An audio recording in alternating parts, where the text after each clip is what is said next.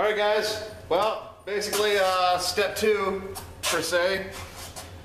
I got um, I got all the parts scuffed down a little bit. Uh, I wiped them off. I blew it off with some air. I wiped off uh, most of the dust. I didn't get all crazy with it, like I mentioned earlier, about wiping them down with alcohol and you know making sure all the oil on my fingers isn't there anymore. That's what the alcohol is for, by the way, is to get your the oil from your fingerprints off of it.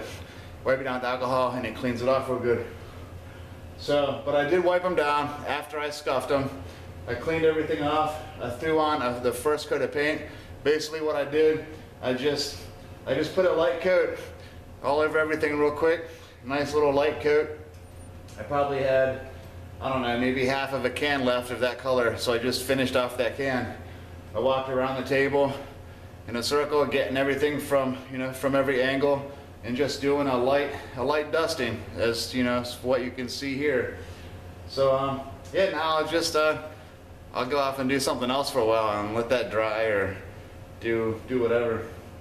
So, yeah, you don't want to put it on too thick all at once because then you'll get runs and it won't look right and everything. So you just do light coats, a bunch of light coats, and it turn, usually turns out really good. I used to do it the old way. I used to just cover it. then I, you know, I would get runs and it would look all thick and tacky. It would take forever to dry and look nasty. But once I actually learned, you know, what, once I learned a better way to do it, just do light coats, several light coats instead of just one thick heavy coat. It always turns out a little bit better that way. Well, it turns out a lot better, not just a little bit. So, yeah, that's basically uh, step two. And I'm just gonna let this dry. Gonna turn off the camera. Thanks for watching. Hope you stay tuned to see the, the rest of it.